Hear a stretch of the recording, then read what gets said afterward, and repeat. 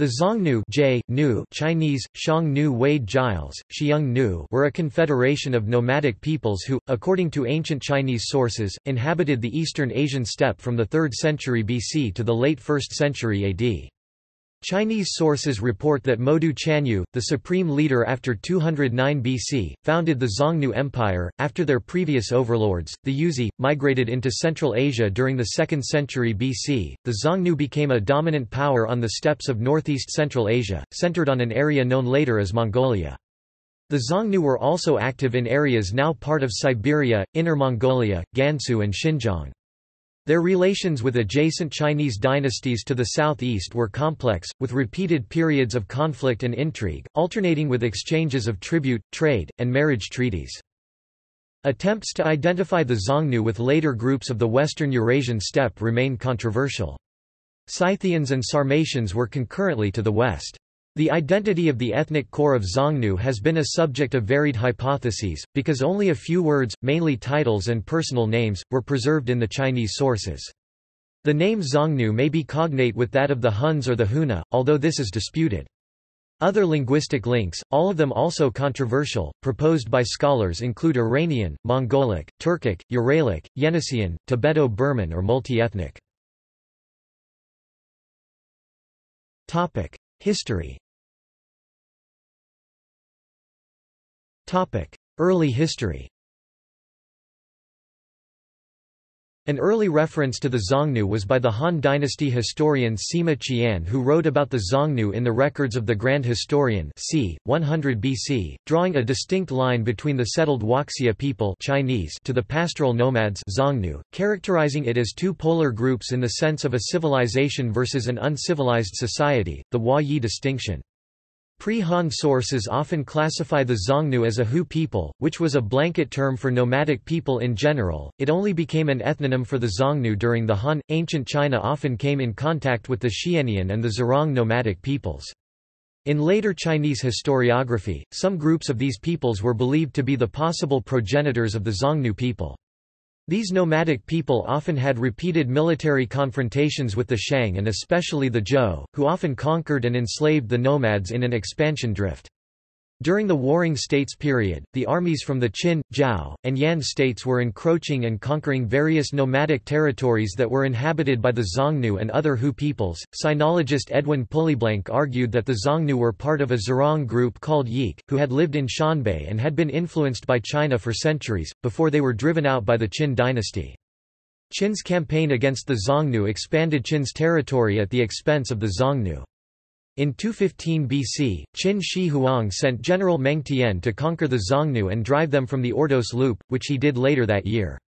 After the catastrophic defeat at the hands of Meng Tian, the Xiongnu leader Tumen was forced to flee far into the Mongolian plateau. The Qin Empire became a threat to the Xiongnu, which ultimately led to the reorganization of the many tribes into a confederacy. Xiongnu tribes Chubei Huyan Lan tribe Luandi Chulin Zubu. Topic. State formation. In 209 BC, three years before the founding of Han China, the Xiongnu were brought together in a powerful confederation under a new Chanyu, Modu Chanyu. This new political unity transformed them into a more formidable state by enabling formation of larger armies and the ability to exercise better strategic coordination. The Xiongnu adopted many of the Chinese agriculture techniques such as slave labor for heavy labor, wore silk like the Chinese, and lived in Chinese-style homes. The reason for creating the confederation remains unclear. Suggestions include the need for a stronger state to deal with the Qin unification of China that resulted in a loss of the Ordos region at the hands of Meng Tian or the political crisis that overtook the Xiongnu in 215 BC when Qin armies evicted them from their pastures on the Yellow River. After forging internal unity, Modu expanded the empire on all sides. To the north he conquered a number of nomadic peoples, including the Dingling of southern Siberia. He crushed the power of the Donghu people of eastern Mongolia and Manchuria as well as the Yuezhi in the Hexi corridor of Gansu, where his son, Jizu, made a skull cup out of the Yuezhi king. Modu also reoccupied all the lands previously taken by the Qin general Meng Tian. Under Modu's leadership, the Xiongnu threatened the Han dynasty, almost causing Emperor Gaozu, the first Han emperor, to lose his throne in 200 BC. By the time of Modu's death in 174 BC, the Xiongnu had driven the Yuezhi from the Hexi corridor, killing the Yuezhi king in the process and asserting their presence in the western regions. The Xiongnu were recognized as the most prominent of the nomads bordering the Chinese Han Empire and during early relations between the Xiongnu and the Han, the former held the balance of power. According to the Book of Han, later quoted in Duan Chengshi's 9th-century miscellaneous morsels from Youyang, also, according to the Han Shu, Wang Wu, Wang Wu and others were sent as envoys to pay a visit to the Xiongnu. According to the customs of the Xiongnu, if the Han envoys did not remove their tallies of authority, and if they did not allow their faces to be tattooed, they could not gain entrance into the yurts. Wang Wu and his company removed their tallies, submitted to tattoo, and thus gained entry. The Shanyu looked upon them very highly. Xiongnu hierarchy After Modu, later leaders formed a dualistic system of political organization with the left and right branches of the Xiongnu divided on a regional basis. The Chanyu or Shanyu, a ruler equivalent to the Emperor of China, exercised direct authority over the central territory. Longcheng, Longshaing near the Orkhon inscriptions in modern Mongolia, became the annual meeting place and served as the Xiongnu capital. The ruler of the Xiongnu was called the Chanyu. Under him were the Tuki kings. The Tuki king of the left was normally the heir presumptive. Next lower in the hierarchy came more officials in pairs of left and right, the Guli, the army commanders, the great governors, the Donghu and the Guda. Beneath them came the commanders of detachments of 1,000, of 100, and of 10 men. This nation of nomads, a people on the march, was organized like an army. Yap, apparently describing the early period, places the Chanyu's main camp north of Shaanxi with the Tuki king of the left holding the area north of Beijing and the Tuki king of the right holding the Ordos Loop area as far as Gansu. Grousset, probably describing the situation after the Xiongnu had been driven north, places the Chanyu on the upper Orkhon River near where Genghis Khan would later establish his capital of Karakorum. The Tuki king of the left lived in the east, probably on the High Kherlen River. The Tuki king of the right lived in the west, perhaps near present-day Uliastai in the Khangai Mountains. The marriage treaty system In the winter of 200 BC, following a siege of Taiyuan, Emperor Gaozu of Han personally led a military campaign against Modun. At the Battle of Baideng, he was ambushed reputedly by 300,000 elite Xiongnu cavalry. The emperor was cut off from supplies and reinforcements for seven days, only narrowly escaping capture. The Han Chinese sent princesses to marry Xiongnu leaders in their efforts to stop the border raids. Along with arranged marriages, the Han sent gifts to bribe the Xiongnu to stop attacking. After the defeat at Pingcheng, the Han emperor abandoned a military solution to the Xiongnu threat. Instead, in 198 BC, the courtier Lu Jing was dispatched for negotiations. The peace settlement eventually reached between the parties included a Han princess given in marriage to the Chanyu called Hekin Chinese, He Qin literally, harmonious kinship, periodic gifts to the Xiongnu of silk, distilled beverages and rice, equal status between the states, and the Great Wall as mutual border. This first treaty set the pattern for relations between the Han and the Xiongnu for 60 years. Up to 135 BC, the treaty was renewed nine times, each time with an increase in the gifts. In 192 BC, Modun even asked for the hand of Emperor Gao's widow Empress Lu Ji. His son and successor, the energetic Jiyu, known as the Laoshang Chanyu, continued his father's expansionist policies. Laoshang succeeded in negotiating with Emperor Wen terms for the maintenance of a large-scale government-sponsored market system. While the Xiongnu benefited handsomely, from the Chinese perspective marriage treaties were costly, humiliating, and ineffective. Laoshang showed that he did not take the peace treaty seriously. On one occasion his scouts penetrated to a point near Chang'an. In 166 BC he personally led 140,000 cavalry to invade Anding, reaching as far as the imperial retreat at Yang. In 158 BC, his successor sent 30,000 cavalry to attack Shangdang and another 30,000 to Yunzhong. The Xiongnu also practiced marriage alliances with Han dynasty officers and officials who defected to their side. The older sister of the Chanyu the Xiongnu ruler was married to the Xiongnu general Zhao Xin, the Marquis of Shi who was serving the Han dynasty. The daughter of the Chanyu was married to the Han Chinese general Li Ling after he surrendered and defected. The Yenisei Kyrgyz Khagans claimed descent from Li Ling. Another Han Chinese general who defected to the Xiongnu was Li Guangli who also married a daughter of the Chanyu. When the Eastern Jin dynasty ended the Xianbei Northern Wei received the Han Chinese Jin prince Sima Chuzi Si Ma Chuji as a refugee. A northern Wei Xianbei princess married Sima Chuzi, giving birth to Sima Jinlong Sima Jin Long. Northern Liang Xiongnu king Juk Mujian's daughter married Sima Jinlong. War with Han dynasty The Han dynasty made preparations for war when the Han Emperor Wu dispatched the explorer Zhang Qian to explore the mysterious kingdoms to the west and to form an alliance with the Yuezhi people in order to combat the Xiongnu. During this time Zhang married a Xiongnu wife, who bore him a son, and gained the trust of the Xiongnu leader.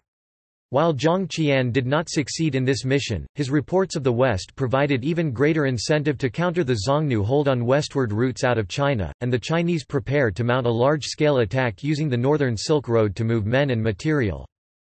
While Han China was making preparations for a military confrontation from the reign of Emperor Wen, the break did not come until 133 BC, following an abortive trap to ambush the Chanyu at Meiyi.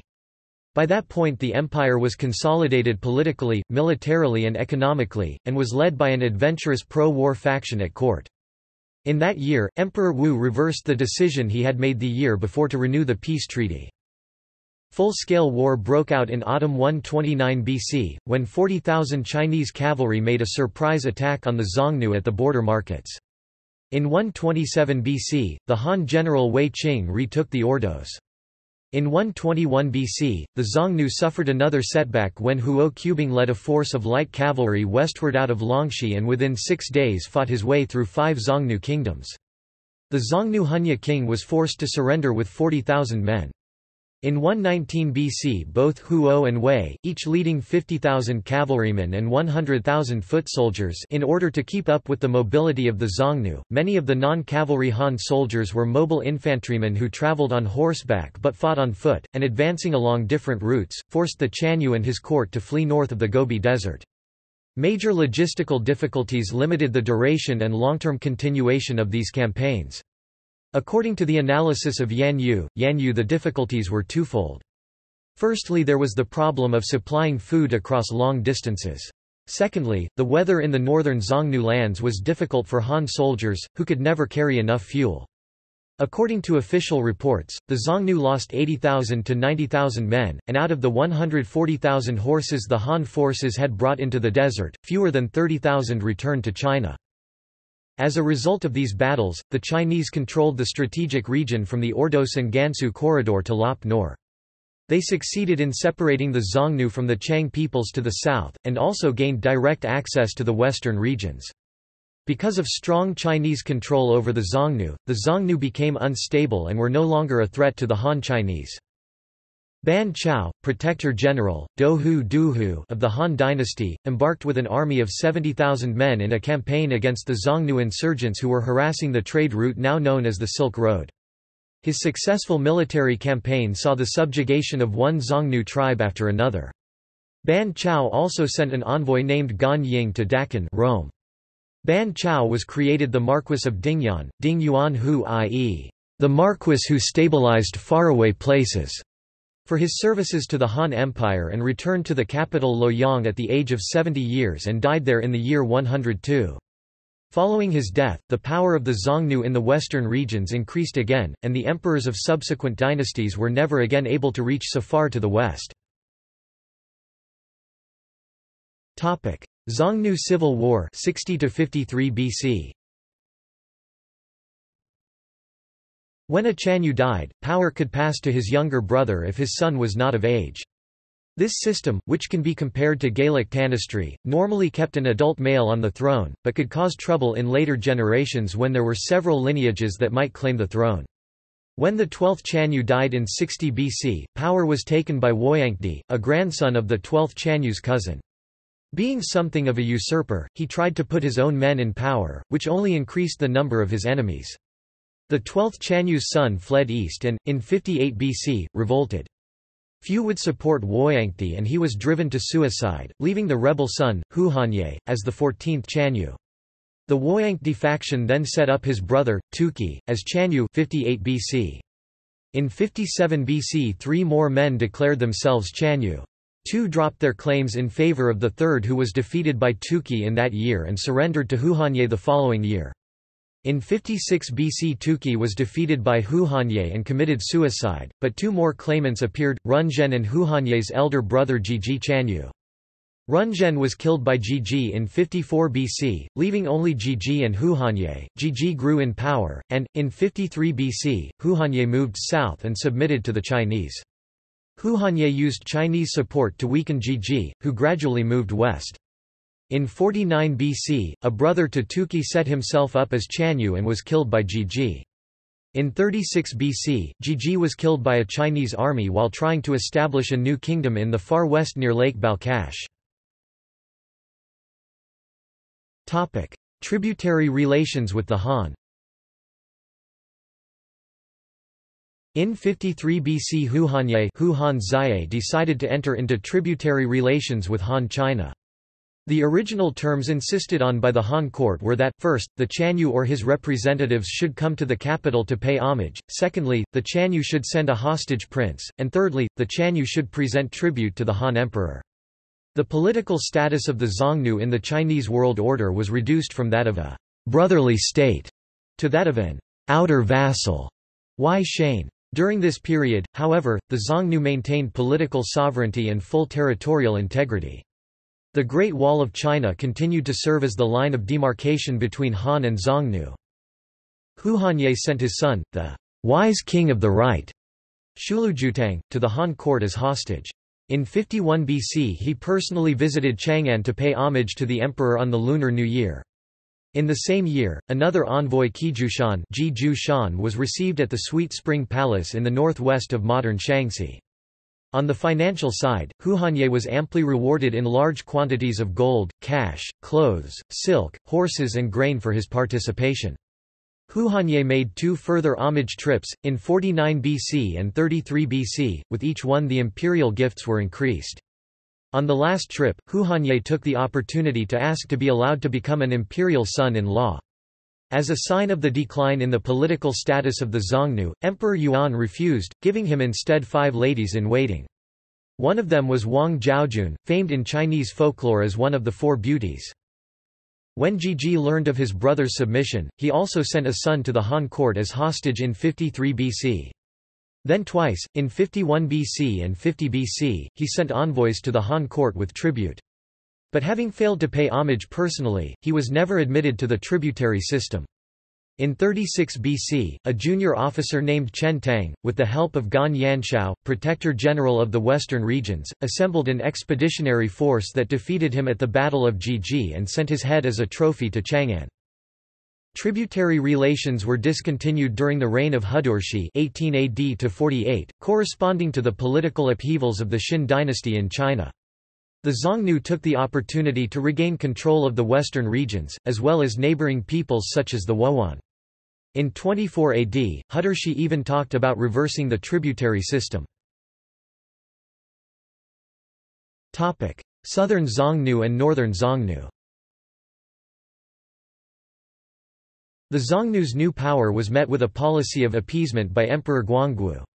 At the height of his power, Hudurshi even compared himself to his illustrious ancestor, Modu. Due to growing regionalism among the Xiongnu, however, Hudurshi was never able to establish unquestioned authority. In contravention of a principle of fraternal succession established by Huhanye, Hudurshi designated his son Punu as heir apparent. However, as the eldest son of the preceding Chanyu, Bai the Rizhu king of the right, had a more legitimate claim. Consequently, Bai refused to attend the annual meeting at the Chanyu's court. Nevertheless, in 46 AD, Punu ascended the throne. In 48 AD, a confederation of eight Xiongnu tribes in Bai's power base in the south, with a military force totaling 40,000 to 50,000 men, seceded from Punu's kingdom and acclaimed Bai as Chanyu. This kingdom became known as the Southern Xiongnu. The Northern Xiongnu The Rump Kingdom under Punu, around the Orkhon modern north-central Mongolia became known as the Northern Xiongnu. Punu, who became known as the Northern Chanyu, began to put military pressure on the southern Xiongnu. In 49 AD, Tsi Yung, a Han governor of Liaodong, allied with the Wuhuan and Xianbei, attacked the northern Xiongnu. The northern Xiongnu suffered two major defeats, one at the hands of the Xianbei in 85 AD, and by the Han during the Battle of Ikh Bayan, in 89 AD. The northern Chanyu fled to the northwest with his subjects. In about 155 AD, the northern Xiongnu were decisively crushed and subjugated by the Xianbei. The southern Xiongnu Coincidentally, the southern Xiongnu were plagued by natural disasters and misfortunes, in addition to the threat posed by Punu. Consequently, in 50 AD, the southern Xiongnu submitted to tributary relations with Han China. The system of tribute was considerably tightened by the Han, to keep the southern Xiongnu under control. The Chanyu was ordered to establish his court in the Meiji district of Xihe Commandery and the southern Xiongnu were resettled in eight frontier commanderies. At the same time, large numbers of Chinese were also resettled in these commanderies, in mixed Han-Xiongnu settlements. Economically, the southern Xiongnu became reliant on trade with the Han. Tensions were evident between Han settlers and practitioners of the nomadic way of life. Thus, in 94, Angguo Chanyu joined forces with newly subjugated Xiongnu from the north and started a large-scale rebellion against the Han. During the late 2nd century AD, the southern Xiongnu were drawn into the rebellions then plaguing the Han court. In 188, the Chanyu was murdered by some of his own subjects for agreeing to send troops to help the Han suppress a rebellion in Hebei. Many of the Xiongnu feared that it would set a precedent for unending military service to the Han court. The murdered Chanyu's son Yufuluo, entitled Chizhisizu, Kai Ji Shi Zhu Hu succeeded him, but was then overthrown by the same rebellious faction in 189. He traveled to Luoyang the Han capital to seek aid from the Han court, but at this time the Han court was in disorder from the clash between Grand General He Jin and the eunuchs, and the intervention of the warlord Dong Zhuo. The Chanyu had no choice but to settle down with his followers in Pingyang, a city in Shaanxi. In 195, he died and was succeeded as Chanyu by his brother Huqiuquan Chanyu. In 215–216 AD, the warlord statesman Cao Cao detained Huqiuquan Chanyuan the city of Yi, and divided his followers in Shaanxi into five divisions, left, right, south, north, and center.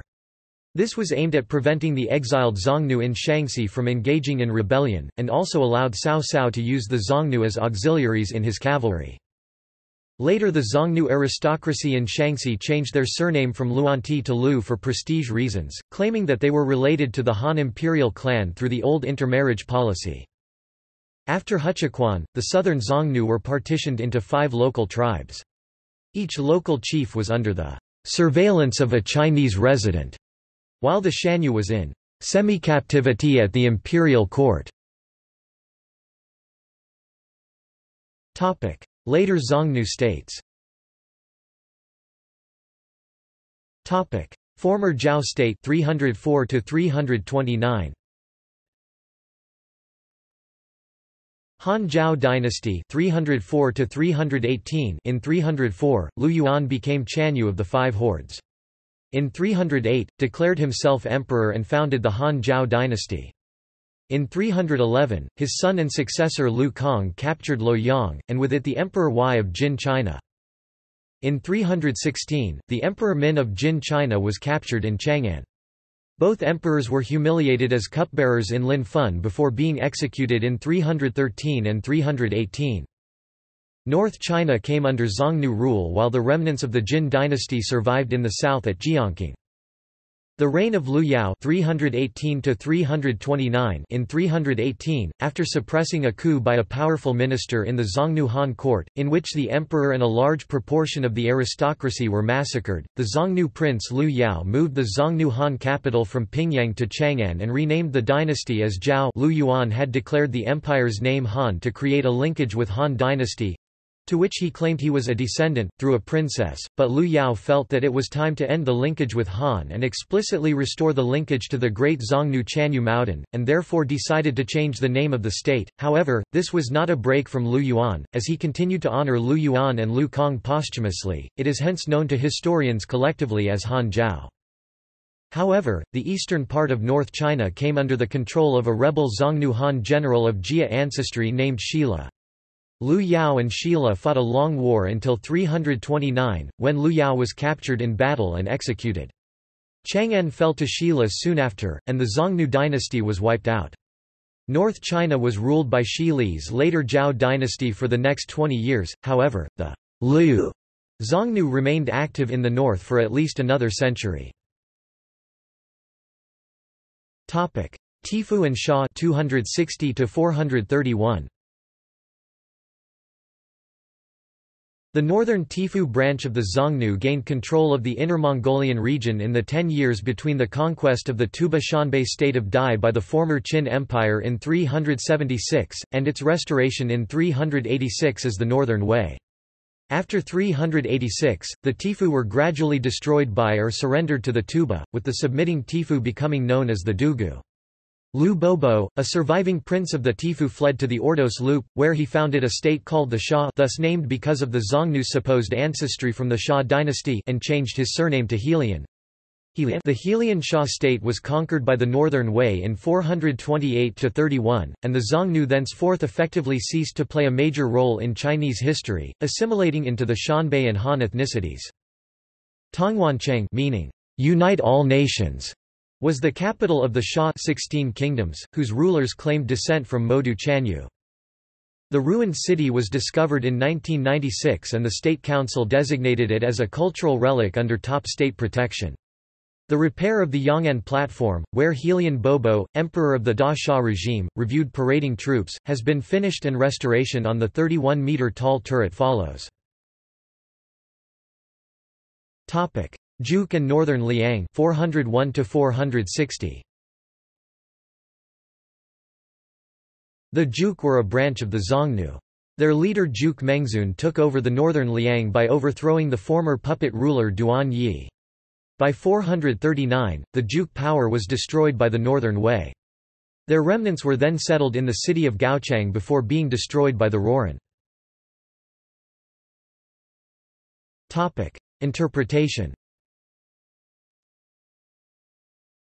Barfield attempted to interpret Xiongnu history as well as narrate it. He made the following points, the Xiongnu Confederation was unusually long-lived for a steppe empire. The purpose of raiding China was not simply for goods, but to force the Chinese to pay regular tribute. The power of the Xiongnu ruler was based on his control of Chinese tribute which he used to reward his supporters. The Han and Xiongnu empires rose at the same time because the Xiongnu state depended on Chinese tribute. A major Xiongnu weakness was the custom of lateral succession.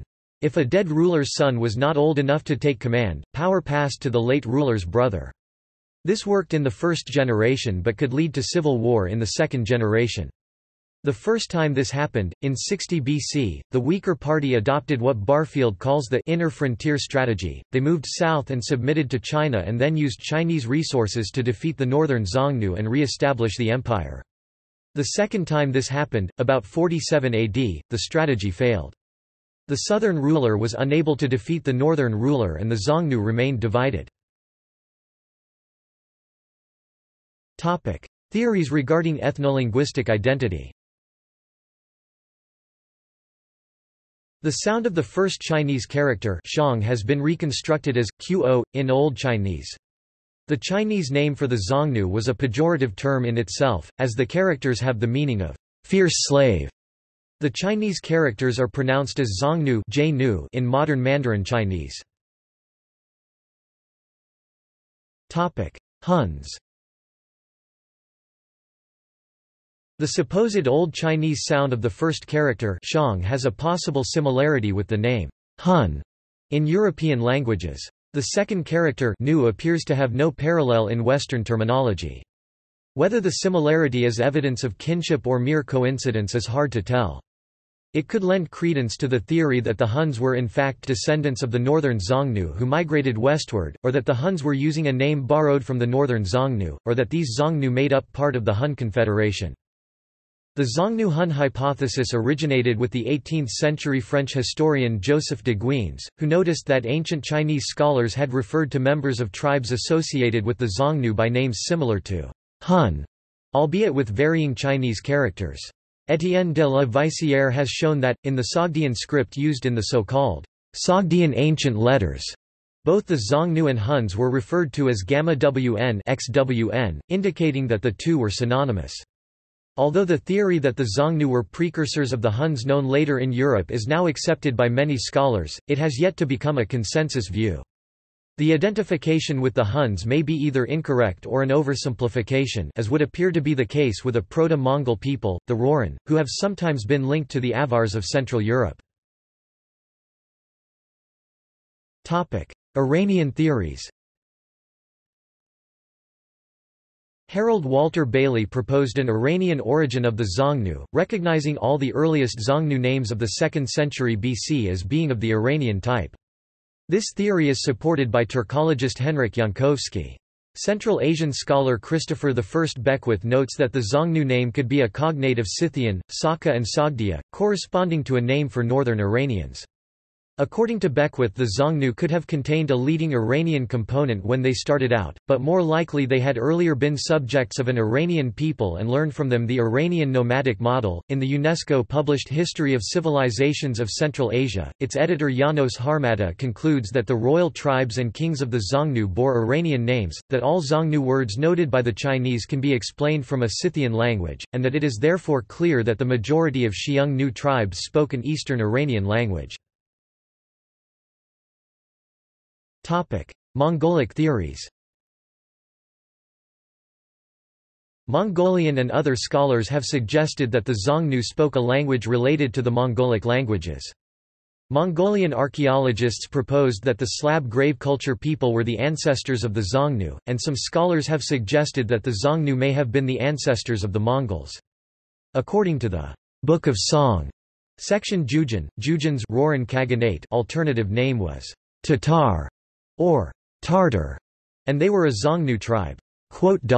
Nikita Bichurin considered Xiongnu and Xianbei to be two subgroups or dynasties but the same ethnicity. Genghis Khan refers to the time of Modu Chanyu as the remote times of our Chanyu in his letter to Taoist Qiu Chuji. Sun and moon symbol of Xiongnu that discovered by archaeologists is similar to Mongolian Soyombo symbol. Turkic theories Proponents of a Turkic language theory include E. H. Parker, Jean-Pierre Abel Rémusat, Julius Klaproth, Kurakichi Shiratori, Gustav John Ramstedt, Anne-Marie von Gabain, and Omeljan Pritsak. Some sources say the ruling class was Proto-Turkic, while others suggest it was Proto-Hun. Craig Benjamin sees the Xiongnu as either Proto-Turks or Proto-Mongols who possibly spoke a language related to the Dingling. Both the 7th-century Chinese history of the northern dynasties and the Book of Zhou, an inscription in the Sogdian language, report the Turks to be a subgroup of the Huns. Yeniseian theories. Lajos Ligeti was the first to suggest that the Xiongnu spoke a Yeniseian language. In the early 1960s Edwin Pulleyblank was the first to expand upon this idea with credible evidence. In 2000, Alexander Vovin reanalyzed Pulleyblank's argument and found further support for it by utilizing the most recent reconstruction of Old Chinese phonology by Starostin and Baxter and a single Chinese transcription of a sentence in the language of the Jie people, a member tribe of the Xiongnu Confederacy. Previous Turkic interpretations of the aforementioned sentence do not match the Chinese translation as precisely as using Yeniseian grammar. Pulleyblank and D. N. Keightley asserted that the Xiongnu titles were originally Siberian words but were later borrowed by the Turkic and Mongolic peoples. The Xiongnu language gave to the later Turkic and Mongolian empires a number of important culture words including Turkish Tangri, Mongolian Tenggeri, was originally the Xiongnu word for heaven, Chengli wrj. Titles such as Tarkan and Tegan and Kagan were also inherited from the Xiongnu language. Multiple ethnicities. Since the early 19th century, a number of Western scholars have proposed a connection between various language families or subfamilies and the language or languages of the Xiongnu. Albert Terrien de Lacouperie considered them to be multi-component groups. Many scholars believe the Xiongnu Confederation was a mixture of different ethno-linguistic groups, and that their main language as represented in the Chinese sources and its relationships have not yet been satisfactorily determined. Kim rejects old racial theories or even ethnic affiliations in favor of the historical reality of these extensive, multi-ethnic, polyglot steppe empires. Chinese sources link the Tiele people and Ashina to the Xiongnu, not all Turkic peoples. According to the Book of Zhou and the history of the northern dynasties, the Ashina clan was a component of the Xiongnu Confederation, but this connection is disputed, and according to the Book of Sui and the Tongdian, they were mixed nomads. Zahu Zahu Pinyin, Zahu, Wade Giles, Tsa Hu from Pingliang. The Ashina and Tiele may have been separate ethnic groups who mixed with the Xiongnu. Indeed, Chinese sources link many nomadic peoples Hu, Si Hu on their northern borders to the Xiongnu, just as Greco-Roman historiographers called Avars and Huns Scythians. The Greek cognative Torquia Greek, Torquia was used by the Byzantine emperor and scholar Constantine VII Porphyrogenitus in his book De Administrando Imperio, though in his use, Turks always referred to Magyars. Such archaizing was a common literary topos, and implied similar geographic origins and nomadic lifestyle but not direct filiation. Some Uyghurs claimed descent from the Xiongnu according to Chinese history Weishu, the founder of the Uyghur Khaganate was descended from a Xiongnu ruler, but many contemporary scholars do not consider the modern Uyghurs to be of direct linear descent from the Old Uyghur Khaganate because modern Uyghur language and Old Uyghur languages are different. Rather, they consider them to be descendants of a number of people, one of them the ancient Uyghurs. Language isolate theories The Turkologist Gerhard Doerfer has denied any possibility of a relationship between the Xiongnu language and any other known language and rejected in the strongest terms any connection with Turkic or Mongolian. Archaeology and genetics The original geographic location of the Xiongnu is disputed among steppe archaeologists.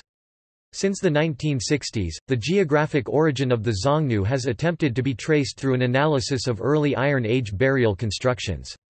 No region has been proven to have mortuary practices that clearly match that of the Xiongnu. Archaeology The political center of the Xiongnu state was in Mongolia and almost all of the Xiongnu kings were buried in Mongolia. In the 1920s, Pyotr Kozlov's excavations of the royal tombs at the Noin Ula burial site in northern Mongolia that date to around the 1st century CE provided a glimpse into the lost world of the Xiongnu. Other archaeological sites have been unearthed in Inner Mongolia and elsewhere, they represent the Neolithic and historical periods of the Xiongnu's history. Those included the Ordos culture, many of them had been identified as the Xiongnu cultures. The region was occupied predominantly by peoples showing Mongoloid features, known from their skeletal remains and artifacts. Portraits found in the Noin Ula excavations demonstrate other cultural evidences and influences, showing that Chinese and Xiongnu art have influenced each other mutually. Some of these embroidered portraits in the Noin Ula kurgans also depict the Xiongnu with long braided hair with wide ribbons, which is seen to be identical with the Ashina clan hair style. Well-preserved bodies in Xiongnu and pre-Xiongnu tombs in the Mongolian Republic and southern Siberia show both Mongoloid and Caucasian features. Analysis of skeletal remains from sites attributed to the Xiongnu provides an identification of dolichocephalic Mongoloid, ethnically distinct from neighboring populations in present-day Mongolia. Russian and Chinese anthropological and craniofacial studies show that the Xiongnu were physically very heterogeneous, with six different population clusters showing different degrees of Mongoloid and Caucasoid physical traits. These clusters point to significant cross-regional migrations both east to west and west to east that likely started in the Neolithic period and continued to the medieval Mongolian period. Presently, there exist four fully excavated and well-documented cemeteries, Ivolga, Dirastui, Burkhan Tolgoi, and Daodunzi. Additionally thousands of tombs have been recorded in Transbaikalia and Mongolia. In addition to these, the Tamir 1 excavation site from a 2005 Silk Road Arkhangai excavation project is the only Xiongnu cemetery in Mongolia to be fully mapped in scale. Tamir 1 was located on Tamarin Ulan Koshu, a prominent granitic outcrop near other cemeteries of the Neolithic, Bronze Age, and Mongol periods. Important finds at the site included a lacquer bowl, glass beads, and three TLV mirrors. Archaeologists from this project believe that these artifacts paired with the general richness and size of the graves suggests that this cemetery was for more important or wealthy Xiongnu individuals. The TLV mirrors are of particular interest. Three mirrors were acquired from three different graves at the site. The mirror found at feature 160 is believed to be a low-quality, local imitation of a Han mirror, while the whole mirror found at feature 100 and fragments of a mirror found at feature 109 are believed to belong to the classical TLV mirrors and date back to the Xin dynasty or the early to Middle Eastern Han period. The archaeologists have chosen to, for the most part, refrain from positing anything about Han-Xiongnu relations based on these particular mirrors. However, they were willing to mention the following. There is no clear indication of the ethnicity of this tomb occupant, but in a similar brick-chambered tomb of late Eastern Han period at the same cemetery, archaeologists discovered a bronze seal with the official title that the Han government bestowed upon the leader of the Xiongnu. The excavators suggested that these brick chamber tombs all belong to the Xiongnu Qinghai 1993. Classifications of these burial sites make distinction between two prevailing type of burials. 1. Monumental ramped terrace tombs which are often flanked by smaller satellite burials and 2. circular or ring burials. Some scholars consider this a division between elite graves and commoner graves. Other scholars, find this division too simplistic and not evocative of a true distinction because it shows Ignorance of the nature of the mortuary investments and typically luxuriant burial assemblages and does not account for the discovery of other lesser interments that do not qualify as either of these types. Genetics A majority 89% of the Xiongnu sequences can be classified as belonging to Asian haplogroups, and nearly 11% belong to European haplogroups. Over the past decade, Chinese archaeologists have published several reviews regarding the results of excavations in Xinjiang. They imply the Xiongnu's supreme ruling class. Particularly interesting are the tombs in the cemetery at Heigouliang, Xinjiang the Black Gulang Cemetery, also known as the Summer Palace of the Xiongnu King, east of the Barkol Basin, near the city of Hami. By typing results of DNA samples during the excavation of one of the tombs, it was determined that of the 12 men, 6 Q1A*, not Q1A1M120, not Q1A1BM25, not Q1A2M3, 4 Q1BM378, 2 Q*, not Q1A, not Q1B, unable to determine subclades, in a paper Lihongzhi 2012, the author analyzed the Y-DNAs of the ancient male samples from the 2nd or 1st century BCE cemetery at Heigouliang in Xinjiang, which is also believed to be the site of a summer palace for Xiongnu kings, which is east of the Barkol Basin and near the city of Hami. The Y-DNA of 12 men excavated from the site belonged to QMEH2 Q1A or QM378 Q1B. The QM378 men among them were regarded as hosts of the tombs, half of the QMEH2 men appeared to be hosts and the other half as sacrificial victims.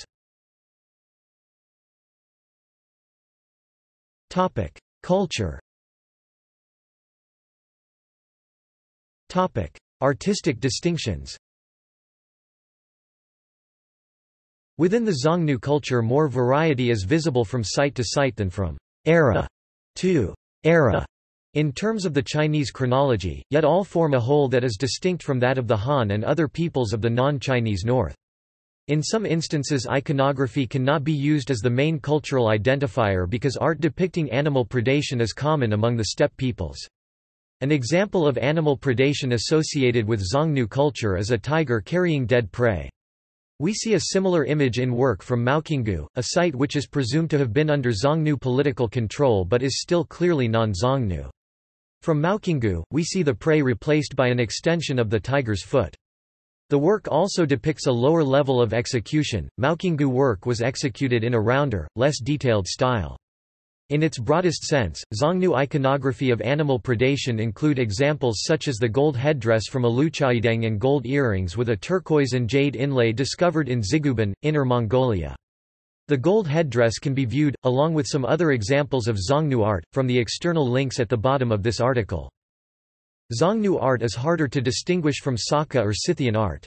There was a similarity present in stylistic execution, but Xiongnu art and Saka art did often differ in terms of iconography. Saka art does not appear to have included predation scenes, especially with dead prey, or same animal combat.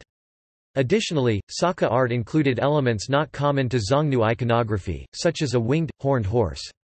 The two cultures also used two different bird heads.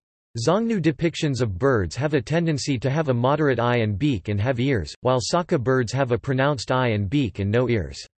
Some scholars claim these differences are indicative of cultural differences. Scholar Sophia Karin Psarras claims that Xiongnu images of animal predation, specifically tiger plus prey, is spiritual, representative of death and rebirth, and same animal combat is representative of the acquisition of or maintenance of power. Rock art and writing The rock art of the Yin and Helan Mountains is dated from the 9th millennium BC to the 19th century AD. It consists mainly of engraved signs petroglyphs and only minimally of painted images. Excavations conducted between 1924 and 1925 in the Noin Ula Kurgans produced objects with over 20 carved characters, which were either identical or very similar to that of to the runic letters of the Old Turkic alphabet discovered in the Orkhon Valley. From this as some scholars hold that the Xiongnu had a script similar to Eurasian runiform and this alphabet itself served as the basis for the ancient Turkic writing. The records of the Grand Historian volume 110 state that when the Xiongnu noted down something or transmitted a message, they made cuts on a piece of wood. They also mention a Hu script. Topic: Diet. Xiongnu were a nomadic people. From their lifestyle of herding flocks and their horse trade with China, we can conclude that their diet consist mainly of mutton, horse meat and wild geese that were shot down. Possible connection to Silla dynasty In various kinds of ancient inscriptions on monuments of Munmu of Silla, it is recorded that King Silla came from Xiongnu. Also, there are some Korean researchers point out grave goods of Silla and Xiongnu are alike and also some researchers propose that Silla king is descended from Xiongnu. About this, the Korean public broadcaster KBS has reported a documentary. Topic see also List of Xiongnu rulers Chanius rulers Family tree Nomadic empire Ethnic groups in Chinese history History of the Han dynasty Ban Yang Zubu topic Notes topic References topic Sources Primary sources Ban Gu et al., Book of Han, especially. Volume 94, Part 1, Part 2. Fan Ye et al., Book of the Later Han, especially. Volume 89. Sima Qian et al., Records of the Grand Historian, especially. Volume 110, Works Consultadas, Michael, 2001. Agricultural and Pastoral Societies in Ancient and Classical History, American Historical Association, Temple University Press. Bailey, Harold W. 1985. Indo-Scythian Studies, Being Khotanese Texts, 7. Cambridge University Press. Retrieved 30 May 2015. Reviewed here 5 Barfield, Thomas, 1989. The Perilous Frontier. Basil Blackwell. Beckwith, Christopher I. The 16th of March 2009. Empires of the Silk Road: A History of Central Eurasia from the Bronze Age to the Present. Princeton University Press. ISBN 0-691-13589-4. Retrieved 30 May 2015. Brosseder, Ursula, and Brian Miller. Xiongnu Archaeology, Multidisciplinary Perspectives of the First Steppe Empire in Inner Asia. Bonn, Freiburger Graphische Betrieb Freiburg, 2011. Szonyi, B. et al., 2008. Y chromosome analysis of ancient Hungarian and two modern Hungarian-speaking populations from the Carpathian Basin. Annals of Human Genetics, 2008 March 27 72 4, 519–534. Demmett, Paula, 2006. Writing the Landscape, Petroglyphs of Inner Mongolia and Ningxia Province China. In Beyond the Steppe and the Sown, Proceedings of the 2002 University of Chicago Conference on Eurasian Archaeology, edited by David L. Peterson et al. Brill. Colloquia Pontica, Series on the Archaeology and Ancient History of the Black Sea Area, 13. 300–313, Proceedings of the First International Conference of Eurasian Archaeology, University of Chicago, May 3–4, 2002, Davydova, Antonina. The Ivolga Archaeological Complex. Part 1. The Ivolga Fortress. In, Archaeological Sites of the Xiongnu, Volume 1. St. Petersburg, 1995. Davydova, Antonina. The Ivolga Archaeological Complex. Part 2. The Ivolga Cemetery. In, Archaeological Sites of the Xiongnu, Volume 2. St. Petersburg, 1996. In Russian Davydova, Antonina and Minyaev Sergei. The Complex of Archaeological Sites near Durany Village. In, Archaeological Sites of the Xiongnu, Volume 5. St. Petersburg, 2003. Davydova, Antonina and Minyaev Sergei. The Xiongnu Decorative Bronzes. In, Archaeological Sites of the Xiongnu, Volume 6. St. Petersburg, 2003. Di Cosmo, Nicola, 1999. The Northern Frontier in Pre-Imperial China. In, The Cambridge History of Ancient China, edited by Michael Loewe and Edward Shaughnessy. Cambridge University Press. Di Cosmo, Nicola, 2004. Ancient China and Its Enemies, The Rise of Nomadic Power in East Asian History.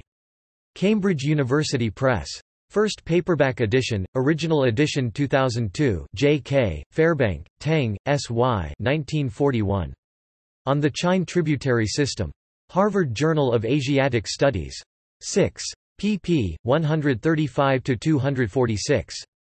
doi 10.2307 2718006 in Chinese Zheng Shi Min Zheng Shi Min 2005 a Ertai Gong Tong Yu Shang Nu Yu Tan Dao on Altaic Common Language and Xiongnu Language. Yu Yan Yu Fan Yi Han Wenban Language and Translation, 2005 Nyen Di 02 Chi. Urumqi. ISSN 1001-0823. WorldCat id equals 123501525. Database citation page for this article Genome News Network. 2003 July 25. Ancient DNA Tells Tales from the Grave Grousset, René, 1970. The Empire of the Steppes, A History of Central Asia. Rutgers University Press, in Russian Gumilev LN 1961. Istoria Naroda Hunnu History of the Hunnu People. Hall, Mark and Minyaev, Sergey. Chemical Analyses of Xiongnu Pottery, a preliminary study of exchange and trade on the Inner Asian steppes. In Journal of Archaeological Science 2002-29, pp. 135-144 Harmatta, Janos the 1st of January 1994. Conclusion. In Harmatta, Janos. History of Civilizations of Central Asia, The Development of Sedentary and Nomadic Civilizations, 700 BC to AD 250. UNESCO. pp. 485–492. ISBN 9231028464. Retrieved 29 May 2015. In Hungarian Helimsky, Eugen.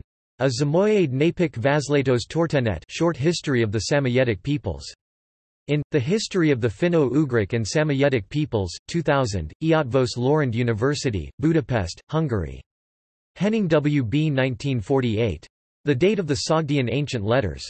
Bulletin of the School of Oriental and African Studies BSOAS, 12 3–4, 601–615. Hill, John E. 2009, Through the Jade Gate to Rome, A Study of the Silk Routes During the Later Han Dynasty, 1st to 2nd Century CE. Booksurge, Charleston, South Carolina. ISBN 978-1-4392-2134-1, especially pp. 69–74 Hucker, Charles O. 1975. China's Imperial Past, An Introduction to Chinese History and Culture. Stanford University Press. ISBN 0-8047-2353-2 N. Ishjams, 1999. Nomads in Eastern Central Asia. In, History of Civilizations of Central Asia. Volume 2, The Development of Sedentary and Nomadic Civilizations, 700 BC to AD 250, edited by Janos Harmatta et al. UNESCO. ISBN 92-3-102846-4, 151-170. Yankovsky, Henrik 2006. Historical Etymological Dictionary of Pre-Russian Habitation Names of the Crimea. Handbuch der Orientalistik HDO, 8, Central Asia, 15. Brill. ISBN 90-04-15433-7, in Russian Kradin NN, Hun Empire, ACAD, 2nd ed., updated and added, Moscow, Logos, 2002, ISBN 5-94010-124-0 Kradin, Nikolai, 2005. Social and Economic Structure of the Xiongnu of the Trans-Baikal Region. Archaeology, Ethnology and Anthropology of Eurasia, No. 1 21, p. 79–86. Kradin, Nikolai, 2012. New Approaches and Challenges for the Xiongnu Studies. In, Xiongnu and its Eastward Neighbors. Seoul, p. 35–51, in Russian Kiener K. Juner, Kuner, Kuner NV 1961. Kitaisky izvestia o Narada uznoj Sibiri Centralnoj Azii Dalnego Vostoka Chinese reports about peoples of southern Siberia, Central Asia, and Far East. Moscow, in Russian, Klyashtorny SG, Klastornij SG 1964. Drevneturksky Runisky Pamatniki Kak Istoknik po Istory Srednej Ancient Turkic runiform monuments as a source for the history of Central Asia. Moscow, Nauka, in German Lu Mao 1958. Die Chinesischen Nachrichten zur Geschichte der Ost-Türken 2q. Wiesbaden, Otto Harrassowitz. Loewe, Michael, 1974. The Campaigns of Han Wu Ti. In, Chinese Ways in Warfare, ed. Frank A. Kierman, Jr., and John K. Fairbank. Harvard Univ. Press. Maenchen Helfen, Otto 1973. The World of the Huns, Studies in Their History and Culture. University of California Press. ISBN 0-520-01596-7. Retrieved February 18, 2015. Minyaev, Sergei. On the Origin of the Xiongnu, Bulletin of International Association for the Study of the Culture of Central Asia, UNESCO. Moscow, 1985, No. 9. Minyaev, Sergei, News of Xiongnu Archaeology, Das Altertum, Volume 35. Berlin, 1989.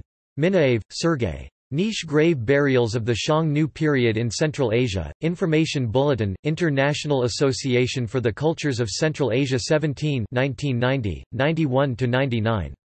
Minyaev, Sergei. The Excavation of Xiongnu Sites in the Buryatia Republic, Orientations, Volume 26, N. 10, Hong Kong, November 1995.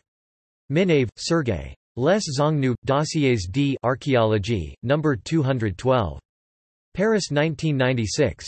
Minyaev, Sergei. Archéologie des Xiongnu en Russie, Nouvelles découvertes et quelques problèmes. In, Arts Asiatiques, Tome 51, Paris, 1996. Minyaev, Sergei. The Origins of the Geometric Style in Xiongnu Art, Bar International Series 890. London, 2000. Minyaev, Sergei. Art and Archaeology of the Xiongnu, New Discoveries in Russia.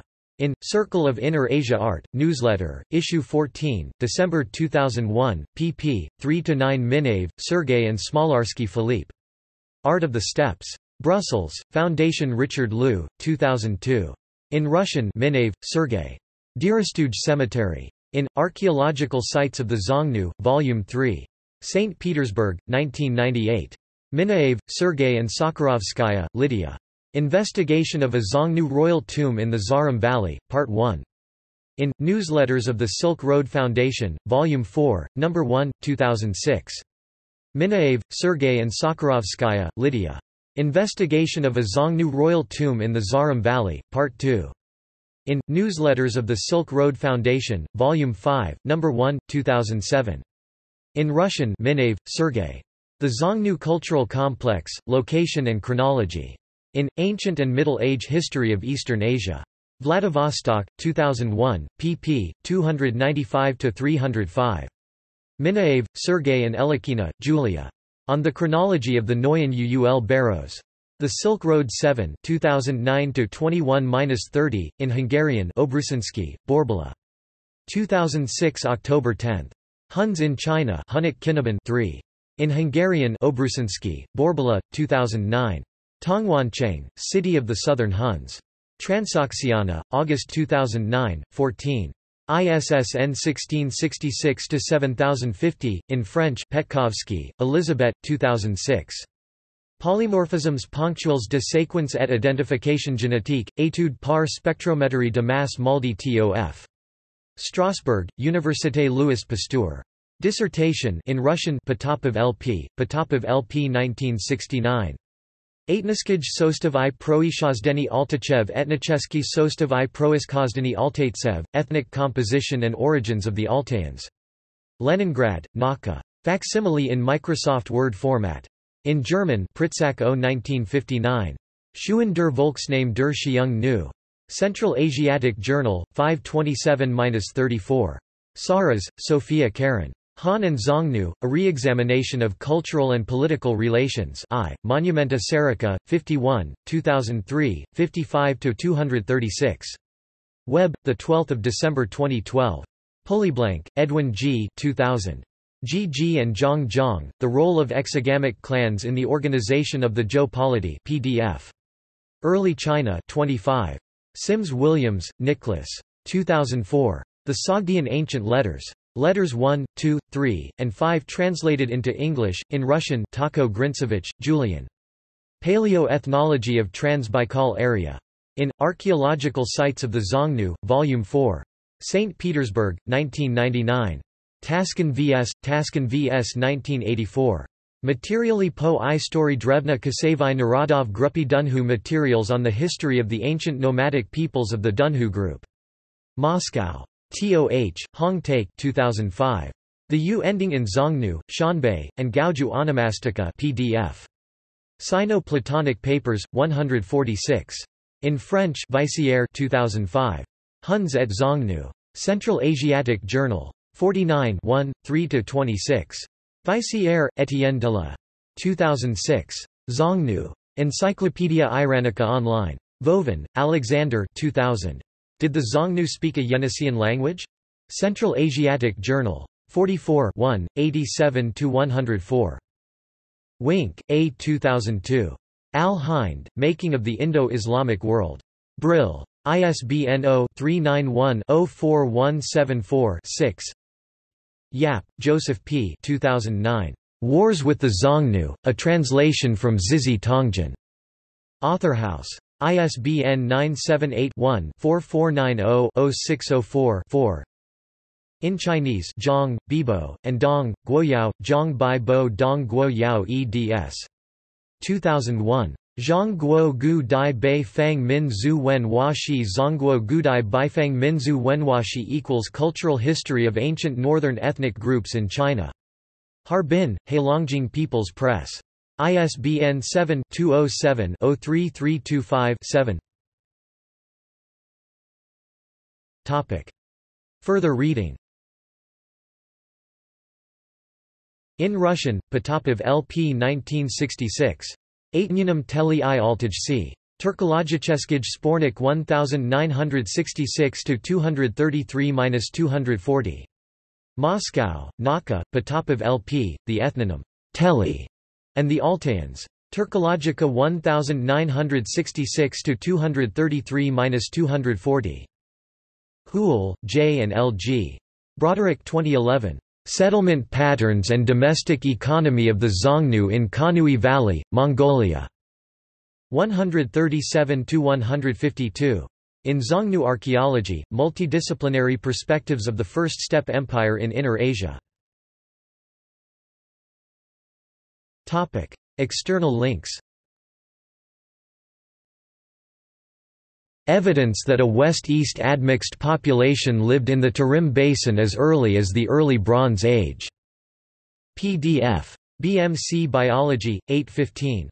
2010 doi 10.1186 1741 7007 8 15 Archived from the original on 27 April 2011, CS1 maint, bot, original URL status unknown link. Material culture presented by University of Washington. Encyclopedic archive on Xiongnu. The Xiongnu Empire. The Silk Road Volume 4 No. 1 The Silk Road Volume 9 Gold headdress from Aluchaideng Belt buckle, Xiongnu type, 3rd–2nd century BC Video documentation, Xiongnu, the burial site of the Hun prince Mongolia. The National Museum of Mongolian History, Xiongnu